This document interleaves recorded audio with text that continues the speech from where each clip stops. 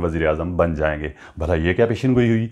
भला ये क्या ऑब्जर्वेशन हुई? एयर वाई न्यूज़ पे उनका बहुत बड़ा शो था प्रोग्राम चलता था। सवाल ये है प्रोग्राम का नाम था।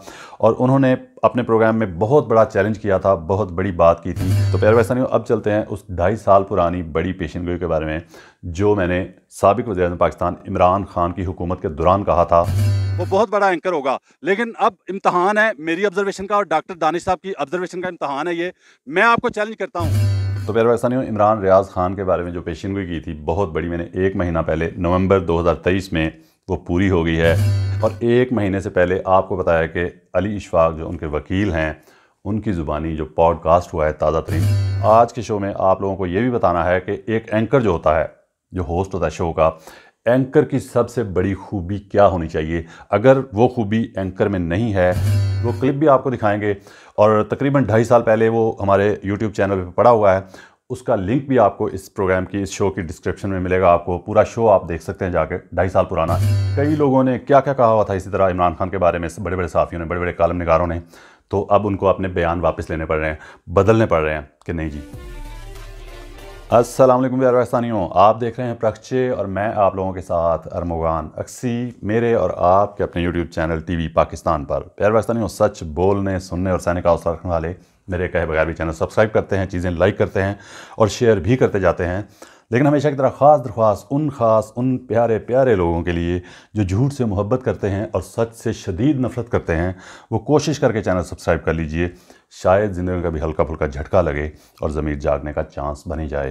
प्यारे पाकिस्तानियों, आज के शो में बात होगी बड़ी ख़ास और बड़े अहम टॉपिक पर बात होगी, जो मैंने पिछले एक महीने में एक बड़ी पेशन गोई की थी, एक बड़े एंकर के बारे में, इमरान रियाज ख़ान के बारे में। उस पर बात होगी कि एक महीना पूरा होने से पहले, एक महीने से भी पहले मेरी वो पेशन गोई दुरुस्त साबित हो गई और सच साबित हो गई। एक महीना भी पूरा नहीं हुआ। और उसके अलावा मैंने एक पेशन गोई की थी, इमरान खान सबक वजी पाकिस्तान जो हैं, उनके बारे में उन्हीं की हुकूमत के दौरान, उनकी हुकूमत चल रही थी अभी, कोई शोर नहीं था, कोई दंगा नहीं था, कोई फसाद नहीं था इमरान खान की हुकूमत के जाने का और उनके जेल तक जाने का। और उनकी हुकूमत अच्छी खासी चल रही थी। उसी हुकूमत के दौरान, इमरान खान के बरसर इकतदार रहने के दौरान मैंने एक बहुत बड़े एंकर को चैलेंज किया था। एक एंकर हैं पाकिस्तान के, उन्होंने एक बहुत बड़ी बात कर दी थी उस वक्त इमरान खान की हुकूमत के दौरान। उन्होंने इमरान खान उस वक्त के वजी अजम पाकिस्तान के बारे में, जो कि मौजूदा वजी अजम थे उस वक्त, उनके बारे में बहुत बड़ी बात की थी, बहुत बड़ा चैलेंज किया था और उन एंकर साहब का मैंने चैलेंज सुनते ही अगले या दूसरे, तीसरे दिन ही उनको चैलेंज कर दिया था, बहुत बड़ा, उनके खिलाफ कि ऐसा नहीं हो सकता। उन्होंने क्या कहा था? डॉक्टर दानिश उनका नाम है एयर वाई न्यूज़ पे उनका बहुत बड़ा शो था, प्रोग्राम चलता था। सवाल ये है, प्रोग्राम का नाम था। और उन्होंने अपने प्रोग्राम में बहुत बड़ा चैलेंज किया था, बहुत बड़ी बात की थी सबक वजी अजम इमरान खान के बारे में। तो मैंने उनके चैलेंज को लेकर उनको उल्टा चैलेंज कर दिया था और बहुत बड़ी पेशन भी कर दी थी। उस वक्त वो क्लिप भी आपको दिखाएँगे और तकरीबन ढाई साल पहले वो हमारे यूट्यूब चैनल पर पड़ा हुआ है। उसका लिंक भी आपको इस प्रोग्राम की, इस शो की डिस्क्रिप्शन में मिलेगा। आपको पूरा शो आप देख सकते हैं जाके, ढाई साल पुराना, इमरान खान की हुकूमत के दौरान का। तो उनको क्या चैलेंज किया था और क्या और कितनी बड़ी पेशन गोई थी मेरी वो, जो तकरीबन ढाई से तीन साल के दरमियान पूरी हो गई है और वजी अजम पाकिस्तान के बारे में वो पेशन गोई आज तक उससे पहले किसी ने नहीं की, आज तक नहीं किसी ने की थी।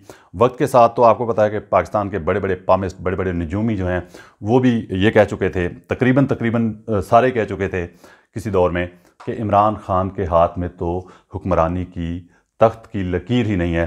तो वही पामिस्ट वही निजूमी सारे, आपको पता है कि जब 2018 का इलेक्शन करीब था और हवा चल रही थी इमरान खान की और इमरान खान के इकतदार में आने के वज़ी अजम बनने के पूरे पूरे चांस नज़र आ रहे थे तो उन्हीं निजूमियों ने, उन्हीं पामिस्टों ने, उन्हीं जो सितारों की चालों के माहिर होते हैं देखने के, उन्होंने कहना शुरू कर दिया था कि इमरान खान वज़ी अजम बन जाएँगे। भला ये क्या पेशन गोई हुई?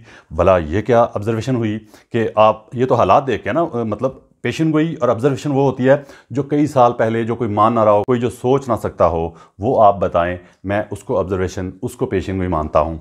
तो वेर पाकिस्तानियों, इमरान खान, जो कि पाकिस्तान के इस वक्त सबका वजी अजम हैं, और उस वक्त मौजूदा वजी अजम थे, हुक्मरान थे, तख्त पर बैठे हुए थे तो मैंने जो बड़ी पेशन गोई की थी, वो जो सच साबित हो गई है, जो किसी एंकर ने पाकिस्तान के ने नहीं कहा था उनके बारे में, नहीं चैलेंज किया था, उनकी हुकूमत के दौरान वो मैंने चैलेंज किया था, वो पूरा हो गया। तो वेर पाकिस्तानियों, आज के शो में आप लोगों को ये भी बताना है कि एक एंकर जो होता है, जो होस्ट होता है शो का एंकर की सबसे बड़ी खूबी क्या होनी चाहिए? अगर वो खूबी एंकर में नहीं है तो वो या तो मुनाफिक है, या फिर वो जो एंकर कहलाता है एंकर के तौर पे लोगों में देखा जाता है, सुना जाता है तो वो खूबी उसमें नहीं है तो वो काम करता जा रहा है। पाकिस्तान में चलता है बहरहाल। तो वैसा नहीं इमरान रियाज खान के बारे में जो पेशेंगोई की थी, बहुत बड़ी, मैंने एक महीना पहले नवंबर 2023 में वो पूरी हो गई है। और वैसे तो उसकी झलक जो है अगले ही दिन नज़र आ गई थी। एक अदालत के बाहर इमरान रियाज खान की ज़ुबानी हल्की सी झलक पाकिस्तान जिंदाबाद का नारा लगवाया उन्होंने। लेकिन एक महीने से भी पहले वो मेरी पेशन हुई हंड्रेड परसेंट और पूरी की पूरी सच साबित होगी एक महीने के अंदर। मेरे पाकिस्तानियों वो क्लिप भी आपको दिखाएँगे जो तकरीबन पिछले एक महीने के दौरान का ही वो शो है। एक महीना पूरा नहीं हुआ अभी, एक महीने से कम अरसे का ही वो शो है। उसका क्लिप आपको दिखाएँगे। वो क्लिप देखें कि मैंने क्या कहा था। उसके बाद आपसे बात करते हैं। तो मैं आज के शो में आपको गारंटी दे के जा रहा हूँ कि कुछ ही अरसे में अन करीब इमरान रियाज भाई आपको पहले की तरह फर फर बोलते नज़र आएँगे। उसी तरह अपने पुराने और दबंग अंदाज में बात करते नज़र आएँगे।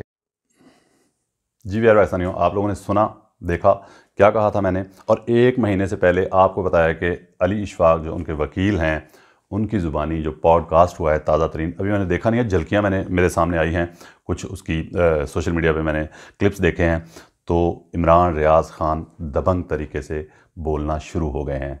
तो प्यार वैसा नहीं अब चलते हैं उस ढाई साल पुरानी बड़ी पेशन गोई के बारे में, जो मैंने सबक वजी पाकिस्तान इमरान खान की हुकूमत के दौरान कहा था।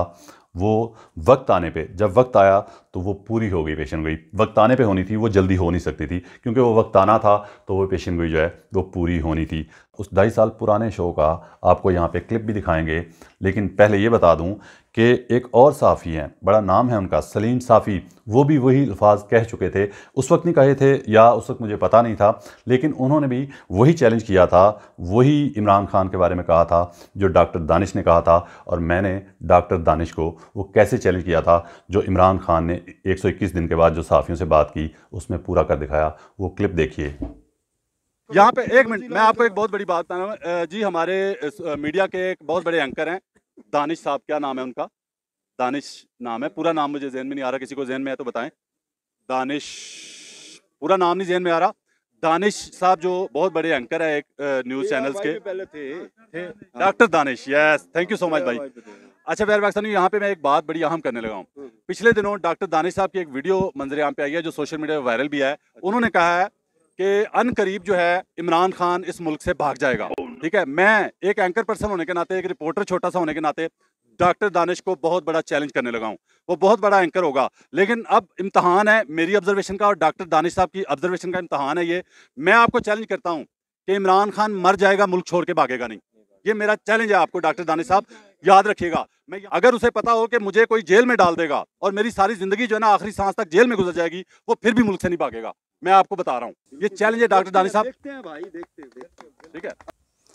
जी वैरवैसानियों ये वो बड़ा चैलेंज था जो पाकिस्तान के दो बड़े नामों, पाकिस्तान के दो बड़े सहाफ़ियों पाकिस्तान के दो बड़े एंकर पर्सन जिन्हें कहा जाता है, उनको चैलेंज था जो पाकिस्तान के माने हुए एंकर माने जाते हैं और पाकिस्तान के बड़े न्यूज़ चैनल के साथ वाबस्ता हैं। उनका चैलेंज किस तरह गलत साबित हुआ इस बंदा नचीज़ के सामने? और मैं ये कहूँगा कि मैं एक छोटा सा जूनियर तजियाकार कह लें। आज से बल्कि मुझे जूनियर तजियाकार के तौर पे लिखा और पुकारा जाए। क्योंकि पाकिस्तान में जूनियर तजियाकार कोई भी नहीं है, जिसका देखो सीनियर तजियाकार लिखा होता है, जो एक गली का तजियाकार होता है, वो भी अपने नाम के साथ नीचे सीनियर तजियाकार ही लिखता है। तो आज से मैं जूनियर तजियाकार आप लोगों के लिए तो जूनियर तजियाकार जो है, उसकी कही हुई बात किस तरह से सच साबित हुई दो बड़े नामों के आगे, दो बड़े सहाफ़ियों के आगे, दो बड़े एंकर पर्सन जिन्हें कहा जाता है, उनके आगे। और मैंने ये नहीं कहा था सिर्फ़ कि उसकी हुकूमत ख़त्म हो गई तो वो भागेगा नहीं। मैंने ये भी कहा था कि वो जेल चला जाए और जेल जाके उसको पता हो कि मेरी आखिरी सांस तक जेल में कट जाएगी, फिर भी नहीं भागेगा फिर भी डील नहीं करेगा। तो वैसे वैसा अब आपको बताने जा रहा हूँ कि एक एंकर जो होता है, उसकी सबसे बड़ी खूबी क्या होनी चाहिए? और मैं चैलेंज कर रहा हूँ आपको कि मैं जो खूबी एक एंकर की सबसे बड़ी बताऊँगा, उसको आप तस्लीम करेंगे, ख़ुद आप एडमिट करेंगे, कौम और प्यार पाकिस्तानी एडमिट करेंगे कि मैं हंड्रेड परसेंट सौ फ़ीसद सच बता रहा हूँ कि ये क्वालिटी अगर एक एंकर में नहीं है तो वो एंकर नहीं है। वो क्या बड़ी खूबी है जो एक एंकर में हर सूरत होनी चाहिए। अगर वो खूबी एक एंकर में ना हो, वो टॉप पे होनी चाहिए, वो सबसे बड़ी खूबी है जो बताने जा रहा हूँ। वो खूबी अगर एक एंकर में नहीं है तो वो किसी सूरत भी एंकर बनने का अहल नहीं है एंकर बनने का लायक नहीं है। आवाम से बात करने का मीडिया पे आके स्क्रीन के ऊपर आके तो गुफ्तु करने का उसको कोई हक हासिल नहीं है। अगर उसमें ये खूबी नहीं है, वो खूबी है जनाब ऑब्जर्वेशन की। ऑब्ज़र्व कर लेना किसी को। वक्त से पहले, हालात से पहले किसी चीज़ को ऑब्ज़र्व कर लेना। कोई अच्छा लीडर है तो उसको ऑब्ज़र्व कर लेना कि ये अच्छा है। अब आप देखें ना कि मैं इतने अरसे से अगर किसी की साइड लेता हूँ तो वो सच्चा साबित हो रहा है। कई लोगों ने क्या क्या कहा हुआ था इसी तरह इमरान खान के बारे में बड़े बड़े साफ़ियों ने बड़े बड़े कालम निगारों ने। तो अब उनको अपने बयान वापस लेने पड़ रहे हैं, बदलने पड़ रहे हैं कि नहीं जी, हम गलत समझते थे उसको। तो ये खूबी जो है ना, अगर किसी मीडिया पर्सन में, किसी एंकर पर्सन में नहीं है तो वो मीडिया पर्सन होने का हक नहीं रखता। क्योंकि अगर कोई एंकर पर्सन है, वो सोशल मीडिया का एंकर पर्सन है, या कि बड़े न्यूज़ चैनल्स का सेटेलाइट चैनल्स का तो उसमें अगर ये खूबी नहीं है तो वो एंकर कहलाने का एंकर बनने का एंकर के तौर पे देखे और सुने जाने का कोई हक नहीं रखता। क्योंकि एक एंकर पर्सन जो है, वो अगर लोगों तक, आवाम तक गलत चीज़ पहुँचा रहा है, किसी चीज़ के बारे में गलत राय पहुँचा रहा है, या किसी चीज़ के बारे में गलत ऑब्जर्वेशन लोगों तक पहुँचा रहा है तो दो चीज़ें हैं।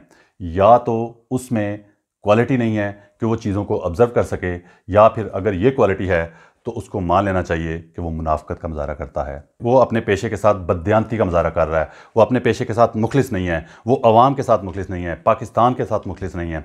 अगर वो क्वालिटी होते हुए भी उसको इस्तेमाल नहीं करता, अगर किसी सहाफ़ी, किसी मीडिया पर्सन किसी एंकर पर्सन की अक्सर चीज़ें वक्त आने के साथ, वक्त बदलने के साथ गलत बार बार गलत साबित होती हैं या तो उसमें ऑब्ज़र्व करने की क्वालिटी नहीं है, या फिर अगर क्वालिटी है तो वो अपने पेशे के साथ मुखलिस नहीं है मुनाफ्त का मुजारा करता है और झूठ मुआरे में फैलाता है। पाकिस्तान जिंदाबाद।